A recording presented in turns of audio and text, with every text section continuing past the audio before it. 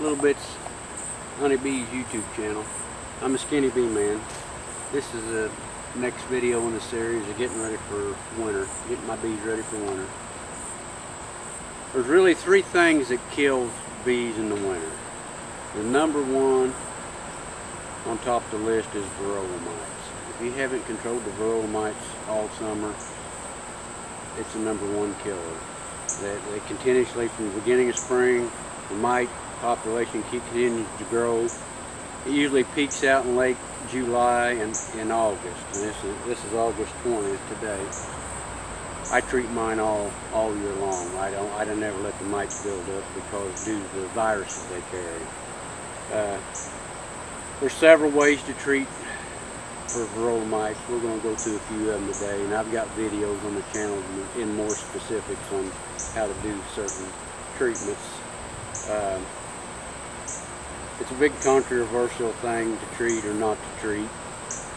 Um, it's not a question if you got mites. If you live in the United States and you got bees, you got mites. Are they at a threshold that the bees can handle? Maybe. And they may not be. There's several ways from basically no treating all the way up, organic all the way up. I'm going to try to run through a few of them uh, to give you some options. You can dig into them a little detail and see how you want to treat. But you, you got to manage varroa mites. You can't raise bees and not manage the mites. You you'll have people out there say, well, I haven't treated for five years for varroa mites. That's true. Uh, there's ways of doing that, and the bees do it naturally on their own. They do a brood break. They swarm out. People don't treat, they don't, they don't watch their hive, they swarm out. It's a natural brood break.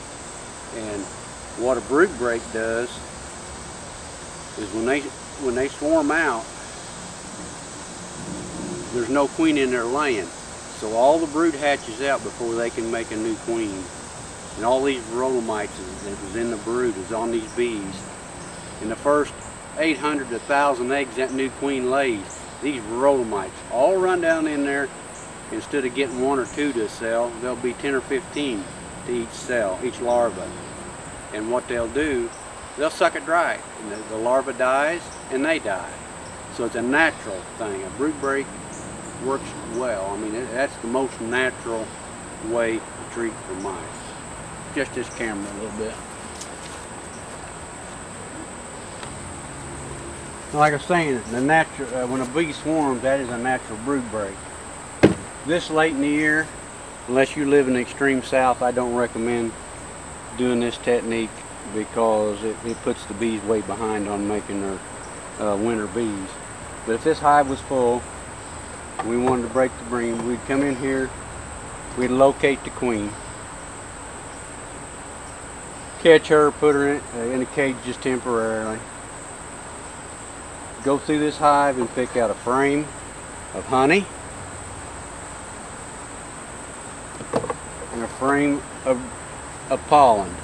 No, no brood, no open brood, none of it. We take them two frames we got here, we're going to put them, we'll take them and put them in another box, turn our queen, queen loose in there. There's no brood in here. So by the time she gets brood laid up and hatched, all the mites that's on these bees right here will run in there and do the same thing. She ain't got that many eggs laid, so they'll all run in there and they'll kill the first eight, 800 to 1,000 eggs. Takes care of the brood break on this. This hive here, we're letting them make them a new queen. So by the time they get them a new queen made, basically all this brood is hatched out and all these varroa mites waiting, just dying to reproduce, they all run into cells and kill the, so many of them go in a cell, they kill the larva and their cells, stops the cycle.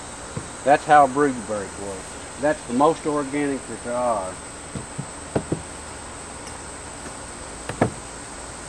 I guess the second most organic would be, this is a flat sieve, it'd be better if you had a, a, a round uh, cone-shaped sieve. But you just take and uh, uh, half a cup of powdered sugar. And to do this and make it effective, you got to have screen bottom boards, which I don't run, so I don't use this method, so that the mites will fall through and get on the ground. And you really, to do this and be efficient with it, you got to do it no more, no less than once every two weeks, all summer long, to control your mites. So it will knock the mites off. It doesn't kill them. It knocks them off, and they'll fall through the screen bottom board and get on the ground. You take a half a cup of powdered sugar and put on this sieve, and just just dust it over the top of all your frames.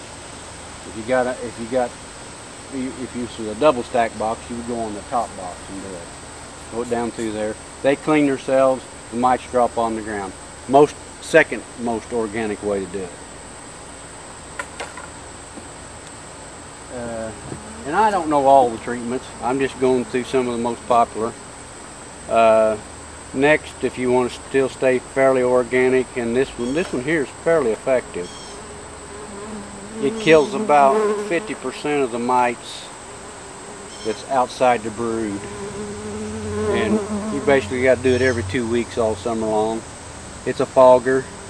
I don't sell foggers or recommend, but some of the other foggers that's got the tanks on top doesn't hold up as well. This is a Burgess. You can get them at Walmart and various places. But you can take, it's got comes with a yellow container. You'll mix uh, 16 ounces of mineral oil, which is a laxative. You can go to the drugstore, Walmart, anywhere and buy it. You put it in the container. Take uh, 30 drops of food grade wintergreen oil.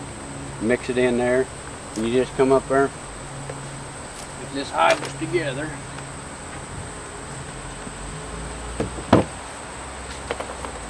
You light this up, it gets real hot, you wait till it gets cherry red.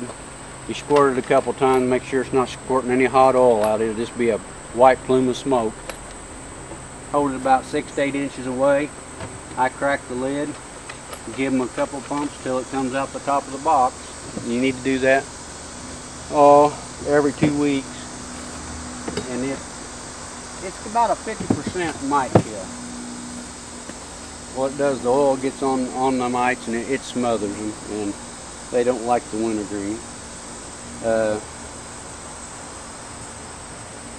the commercial guys a lot of them use oxalic acid in a dribble method. I don't even know the formulation on it, but they'll they'll, they'll mix oxalic acid with sugar water. They come in there and put so many milliliters on top of the bars. You got to have your honey off on this. It's real effective. A uh, couple drawbacks to it. It will kill open brood.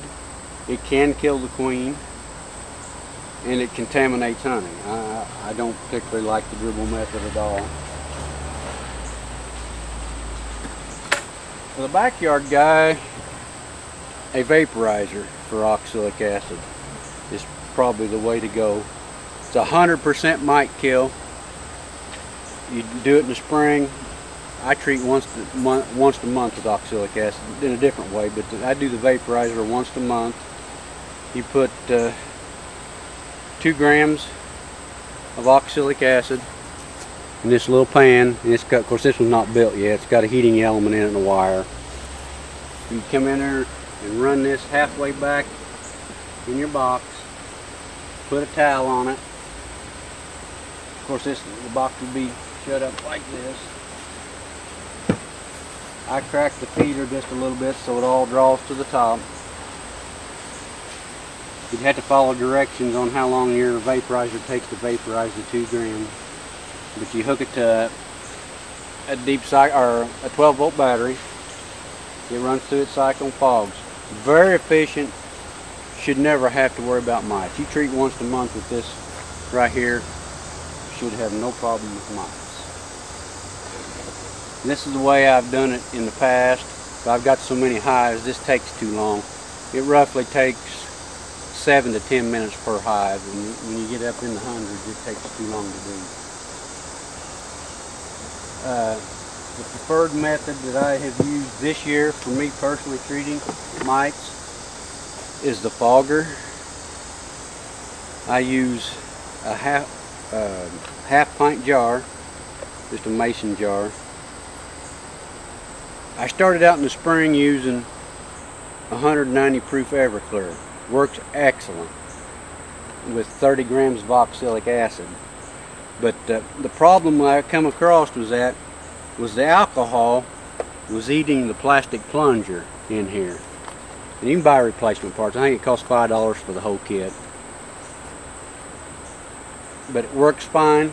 If you use the alcohol, it, it's a must that this thing be all the way hot. No, when you pump it, there should be no liquid come out.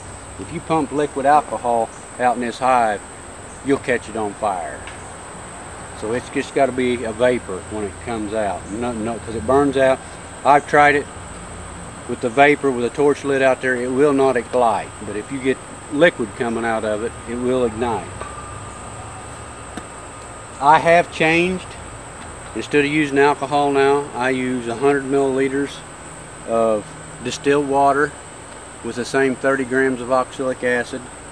And I just take the jar and like that when I mix it up, put it in the microwave for about a minute, put the lid on it, shake it up. It'll get crystal clear. The only thing about the distilled water is if it cools off, it will go out of, of, of it'll settle out. I was trying to think of the word, but can't think of it right now. It comes out of solution and, and settles back out. So I typically let it cool down a little bit and use it use it hot. And same way you light the fogger, I come up here, crack the lid, give it some pumps until it comes out the top. Very effective. I had real low mite counts all year on all my hives. When you vaporize oxalic acid or fog oxalic acid, you need to have a respirator on.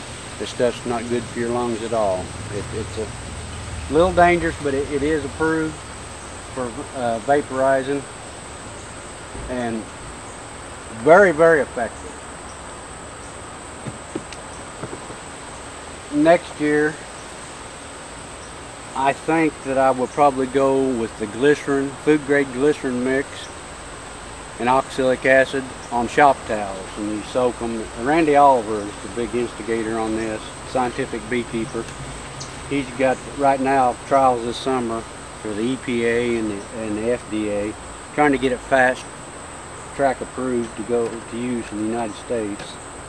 Uh, his data should be out this winter sometime, so I'm kind of holding back, waiting on the data. But I've talked to a couple big breeders, queen breeders that's already going to the, the shop towel this year.